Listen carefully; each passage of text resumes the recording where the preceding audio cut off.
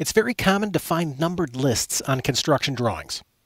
In the past, it was always a headache to add or remove items from a numbered list because it meant a lot of manual renumbering. Well, that's not the case anymore, as all of our lists are fully automated and easy to change. In this lesson, we're going to learn how to create a numbered list.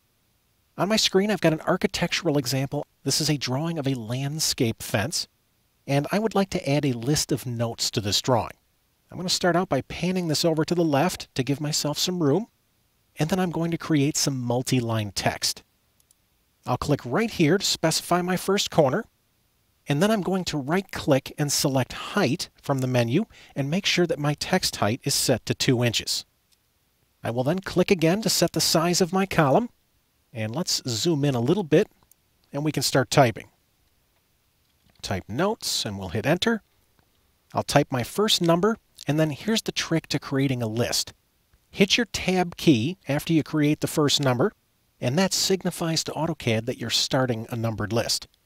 I will then add my note, and when I hit Enter, notice AutoCAD adds the next number for me and then formats my text such that my word wrap looks appropriate. All I have to do is keep typing notes and AutoCAD takes care of all of the work for me. Now that I'm finished with my list, I'm going to make a couple of formatting changes of my own.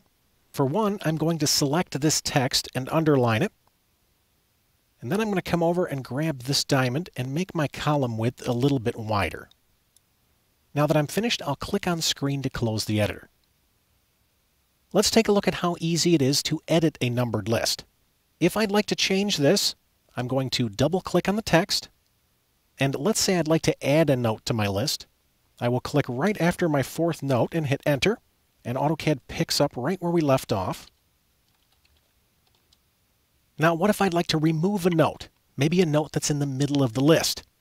To do that, I'm going to click, hold, and drag across my text, and then I'll hit the delete key on my keyboard. Notice AutoCAD removes the note and renumbers the list. Maybe I'd like to add some space in between my notes. These guys are awfully close together. You would think that you could add an empty space by clicking after a note and hitting enter. Unfortunately, AutoCAD adds another number. I'm going to hit my backspace key to take that number away. Once again, notice AutoCAD renumbers the list. Now I did get what I wanted, but let me show you a faster way we can do it.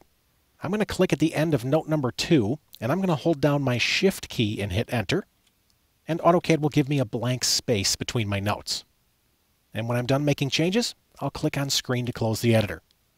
Let's try something else. I'm going to double click on this list. And maybe I don't want this to be a numbered list. Maybe I'd like it to be a bulleted list. To make that change, I will select all of my notes. And then I'm going to come up to the paragraph panel and click this flyout. This controls the type of list that we have. Right now it's set to numbered. If I click this option, we'll have a bulleted list. If I don't like that, I can click the flyout again. Maybe I'd like a lettered list and maybe I'd like it to be uppercase letters. Once again, when I'm done, I'll click on screen. As you can see, list creation is very flexible. Making and editing your lists is as intuitive as using your favorite word processing program.